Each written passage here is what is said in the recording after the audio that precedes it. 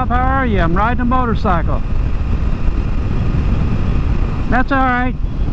No, no, go ahead. I'm, I'm just riding.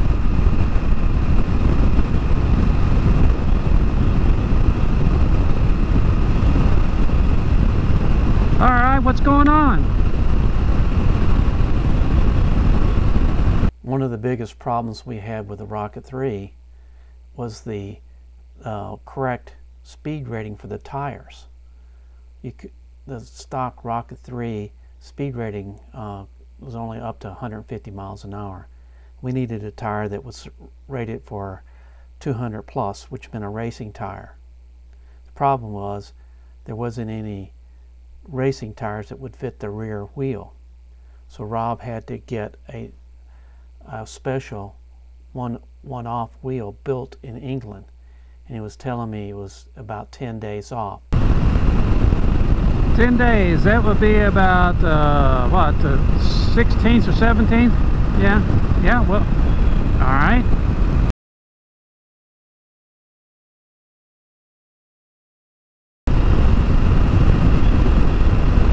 Oh, is that right?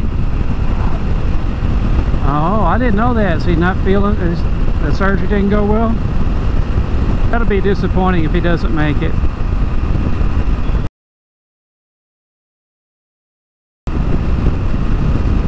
Well, I understand that they're going to have two courses. So hopefully they'll have two good courses. Normally at Bonneville they have three courses.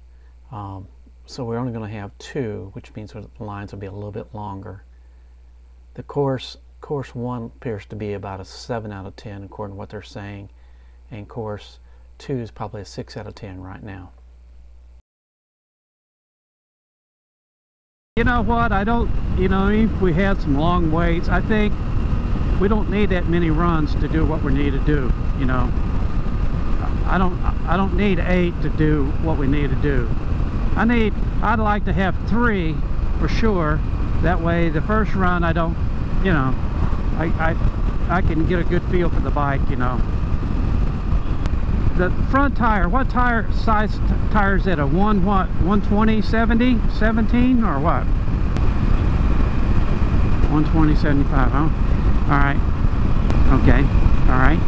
And is there anything else besides the rear wheel that you, you, you need to work on right now? We spend the next few minutes going over some of the things that's been done, all the updates that have been done. A lot of work Rob has went into doing on this bike. I'm going to show you in these slides.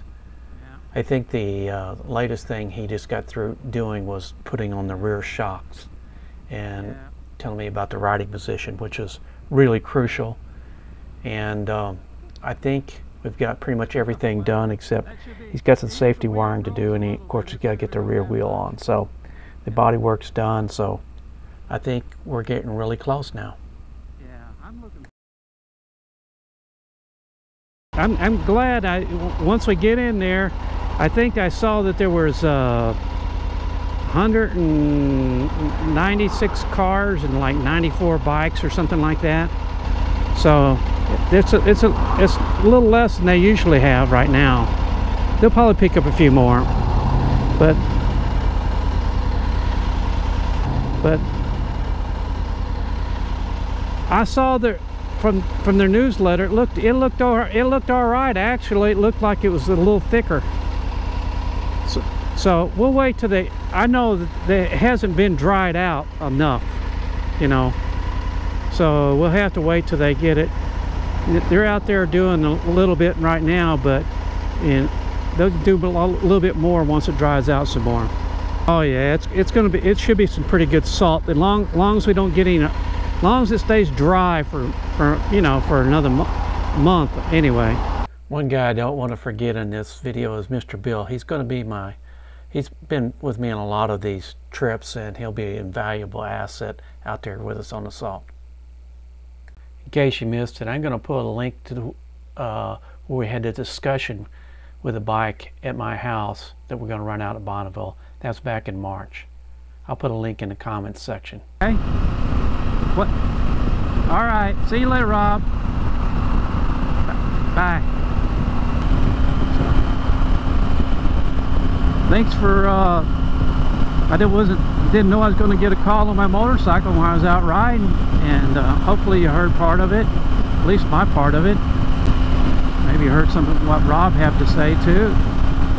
Yeah, Rob lives up in Seattle, which is quite a little ways from here.